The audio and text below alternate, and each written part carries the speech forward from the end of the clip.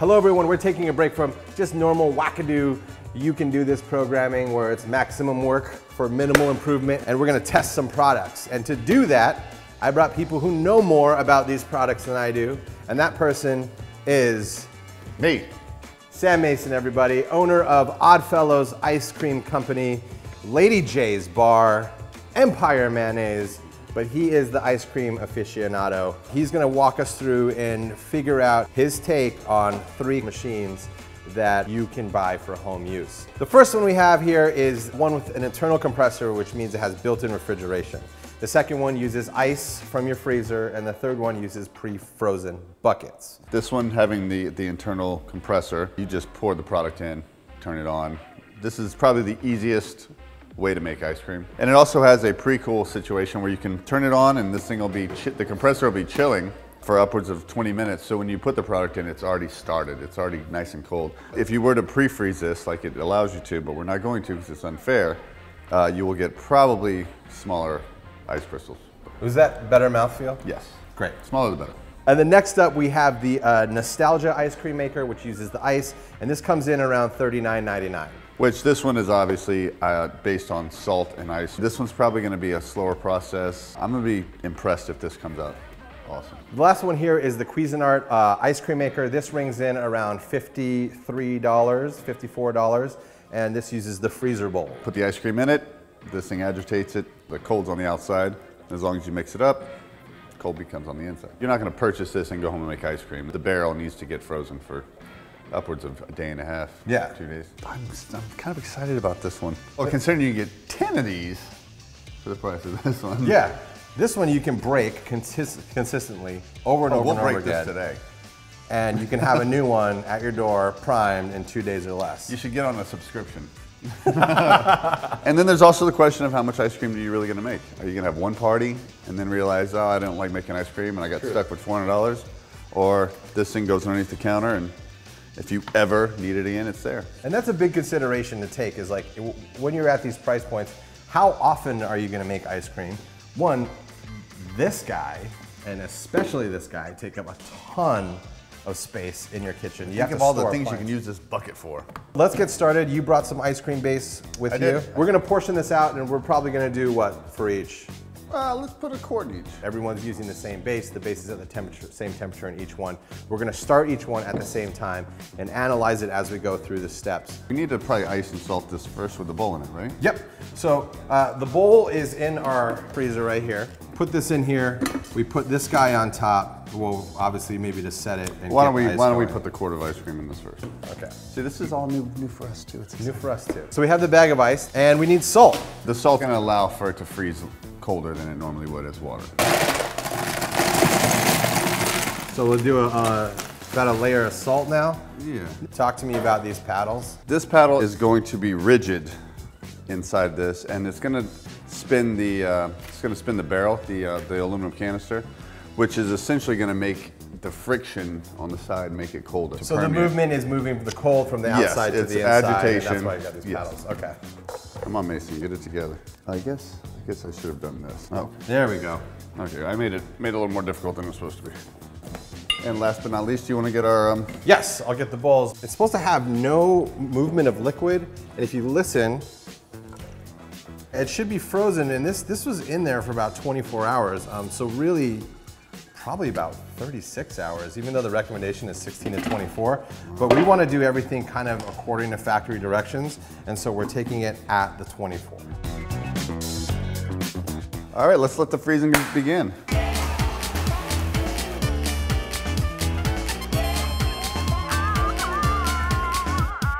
This one, now the canister.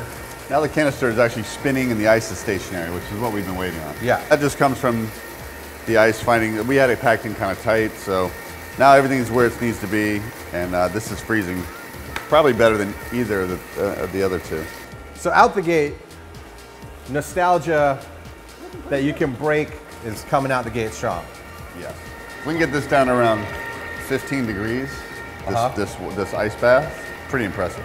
Over here we have 48 degrees over here. Let's test it against this guy. It's dropping. 44, 42, 39. and what we have happening in here is really nothing. These are both consistently being frozen, whereas this one is thawing out. Oh, got this it. is not getting any colder. In fact, it's getting less cold. This one might be a great addition to a milkshake. 38.2. What is that feature? There's, that's why you spend, that's why you spend the $400. Music. Right now we're sitting around 10 minutes in. And we already have ice cream being made here. I can see the freezing, the product that's frozen, and I can see how. Can you see where the agitation's happening on the wall right there? Yeah. That's that's a viscosity that's a lot thicker than any one of these. Do I dare say that your initial hypotheses Oh, wait. is now Super shifting Shot. Super shot. behind the nostalgia? In hindsight, this is more like a, a professional machine. Obviously, it's done in a real rudimentary fashion. Yeah. But in, it, as far as con- concept, this is the most efficient out of these three. You can store things inside it. Cleaning products, bleach, Cleaning product, mop bucket. mop bucket. We're at 23 minutes right now. Distinct ribbons off of this ice cream base are coming up. It's no longer a liquid. It's actually looks like it's folding into itself. Yeah, we're, we're, we're about five, six minutes away from this being ready to go. So we're actually at 38.1 right now. The temperature from about 10 minutes ago has gone up about a degree. Um, and since there is no internal cooling mechanism in here, It's not going to get much better. Uh, The one that freezes faster is the one that's going to be better. Just because the ice crystals are going to be smaller. They're given less time to develop. our little engine that could is, is running away right now. The Breville with the pre-chill would be done by now. Probably would be done by now. We have some sad news to report. We're flatlining over here. We've gone up three degrees. Yeah, we're not we're not in a happy ice cream place. I think the wise thing to do at this point Really? is make it a two-horse race. You pulling the plug? We're gonna pull the plug, right? I mean, it's just sad now. Right off the, right off the table. it's been 40 minutes. Let's take a look and get a real Okay. reference point of what this is. We can see this one. To And turn we- this one off, Oh yeah, it's got an on-off switch. The ice cream's moving still. It's not really ice cream. It's it's soft serve still. soft serve. So it's not like a hard scoop ice cream. You, no matter what ice cream we make, you're gonna want to harden it um, in the freezer. And I think we're ready here.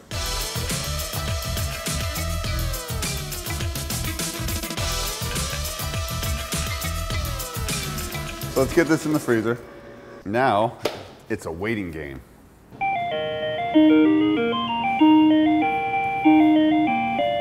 We you looking for? Texturally, we want something that's creamy and, and smooth. The smaller the ice crystals, the less you're gonna feel, but I think the better the product is.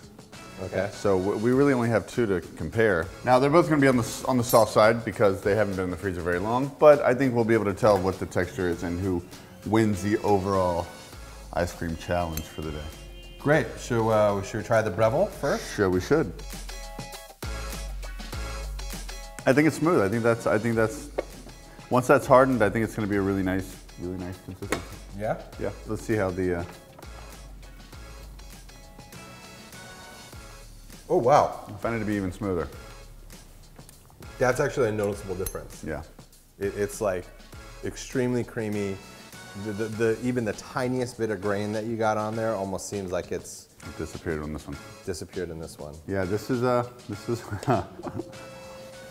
you. Sam, as an ice cream professional, if you were to say out of one, two, three, maybe just one, two, Yeah, I think three is pretty much fending for itself. I, I, I this, this is one. This is the winner today. This is a this is a close, close, close second. Uh, but if you weigh the price point into it, it's a little further away.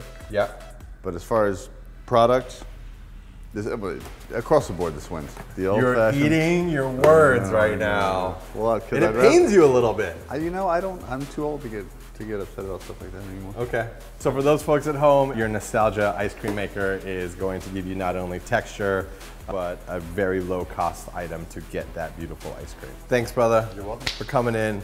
Um, if you don't want to run through all this hassle, just hit up Sam at Oddfellows. Uh, he will take care of you with delicious flavors of all kinds. If you want to see more videos like this, maybe we break some more stuff, click here. Like, why can I not do this at home? Like, why, why is this not a thing? I don't want to cut a hole in my dining room table and make a trough. I asked